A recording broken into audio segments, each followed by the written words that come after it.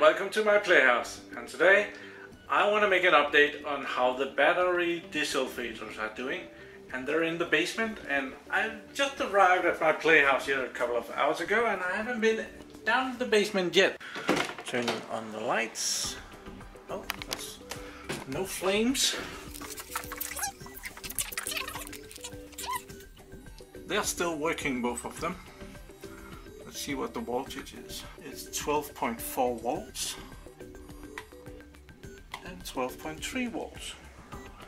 And down here is the other desulfators working on the other batteries. So what I'm gonna do, I'm gonna disconnect these desulfators and I'm gonna charge the batteries and we will see with the battery analyzer if the batteries has improved any that's gonna be interesting. I've disconnected them and I've plugged in power, I stole the power from down here. And right now the batteries are charging. This little one is charging with about two point something amps and this one looks like uh, the black one here. It's charging with about three amps. I'm gonna leave the power on for a while until they're fully charged or until they're not really drawing any power. And in the meanwhile, now that I have stolen the power from from these two batteries, I just I just move them over here so that they're easier to test. Let's connect the battery analyzer to this little one. There. And come on. There and we're gonna select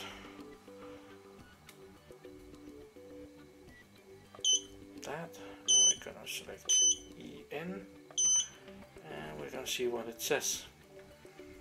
It says 13.7 volts. That's that's a fair amount higher than what I saw last week it says 230 cranking amps. And this one says 176 cranking amps.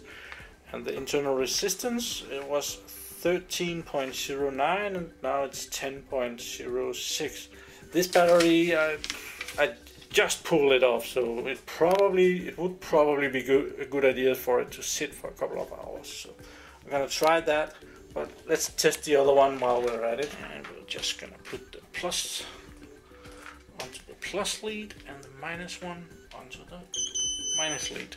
And we get, we select, on this battery we're gonna select the bottom one and we're gonna select EN again and compare it with the note. It's not it's almost the same. The voltage is a lot higher because it's just came off the charger. The cranking amps, it's, it's only a little bit higher and the internal resistance is only a little bit lower. So this battery hasn't improved very much. It's the next day and I just I just exchanged these batteries for the other batteries. Mm, you can see that on that distance. Uh, now these are charging and connected to their small diesel desulfators. And this has been sitting on the table for mm, not that long. Probably like 10-15 minutes. But let's just measure them and see how they how they're doing. There's the note for it. So collect, connect minus to minus and plus to plus we are. Closed battery thing, I think that's. And EN. Let's see what the battery says. It says 13 volts, 255 cranking amps, internal resistance of 9 milliohms. And if we look at the note, which is right here, there's not much of a difference. The voltage has gone up 0.8 volts, which is of course good. The internal resistance has just gone down 0.03 milliohms, which is next to nothing. It's inaccuracies in the measurements. and the same 255 cranking amps. So after one week of desulfating, I would say nothing has happened. I'm gonna update the note over here. We'll just say one week after one week and then it's 13 volts uh, 255 amps and 9.00 milli ohms and put the note back to the battery and let's see the next one. And we'll be connecting that as well. And select the same settings.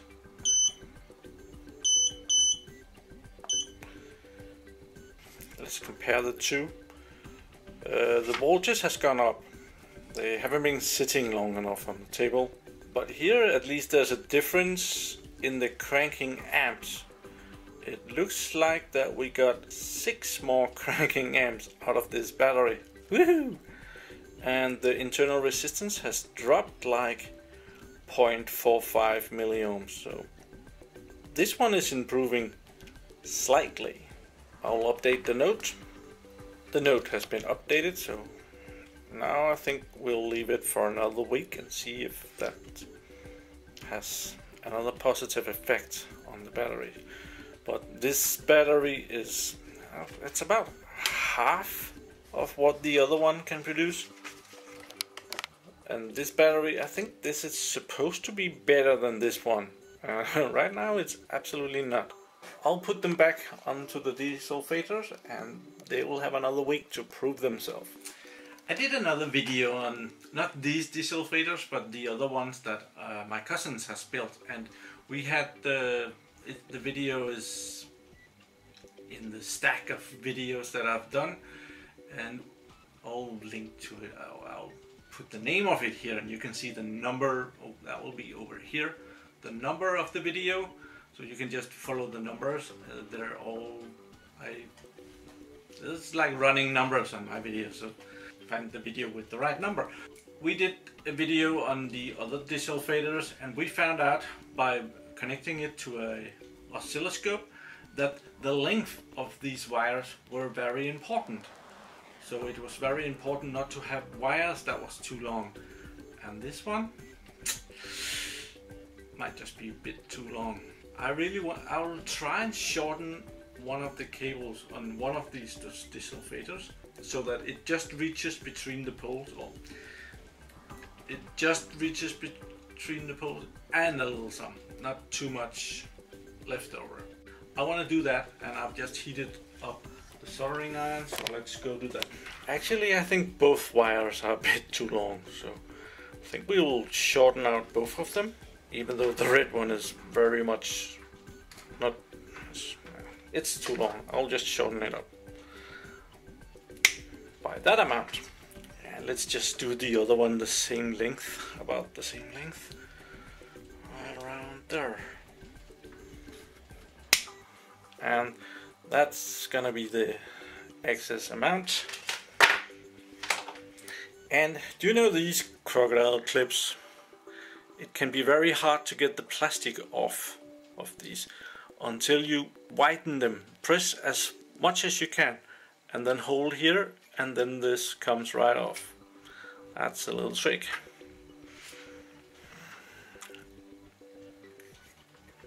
And it makes it a lot easier. And these are really easy. They're just soldered on like that. So that's gonna be a piece of cake. And I'm just gonna cut this.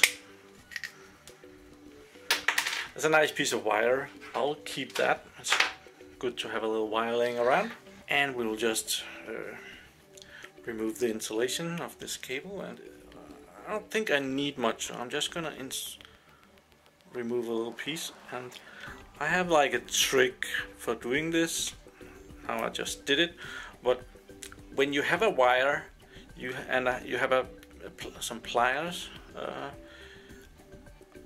I use the pliers and I squeeze it just enough so that it bites through the cable and then I go out here and I nip I nip the end.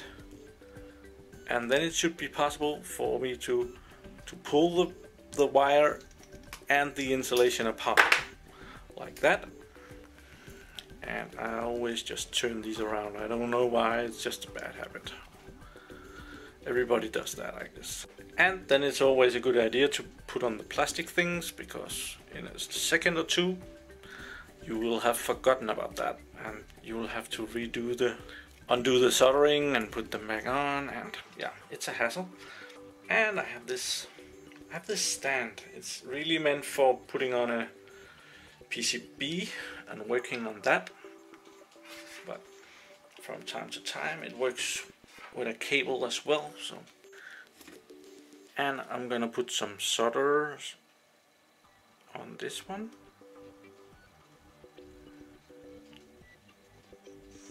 nice. And this is the black one so we're gonna unsolder the black one. See if I can do that in with just one hand. Looks good. There we are. I think we're gonna put some solder on that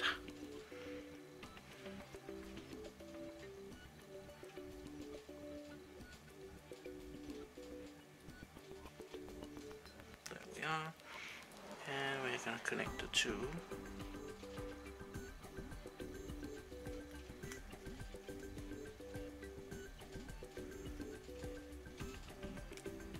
ow ow ow ow ow. Yeah they're very well connected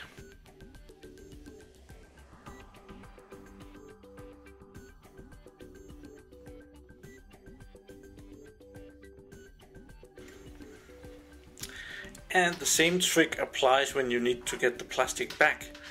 You open the teeth as wide as you can, put in your fingers and put the plastic back. Now the, the desulfator has a lot shorter cables and it measures the voltage as about 11.12 something and it will start desulfating in just a second pulsing. You can hear the sound. And it's not a buzzer inside of the desulfator it's the it's the 10 kilohertz that that it's desulfating the battery with. Um, I think this should help.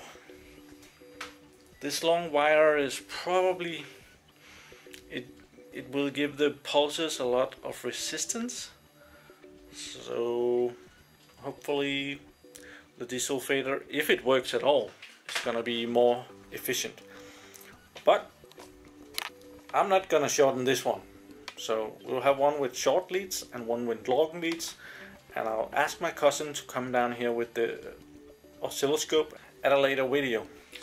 Now both of the batteries are desulfating happily here behind me, back on the shelf, away from the working table which it's a really irritating place to put them because I need that space. But over here they can they can sit, no problem.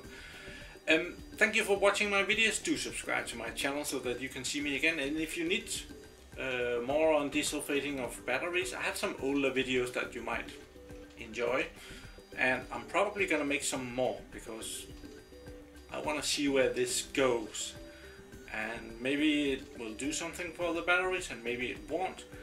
And if it won't I will exchange these batteries and try with some other ones. But yeah thank you for watching. Have a really nice day. Bye bye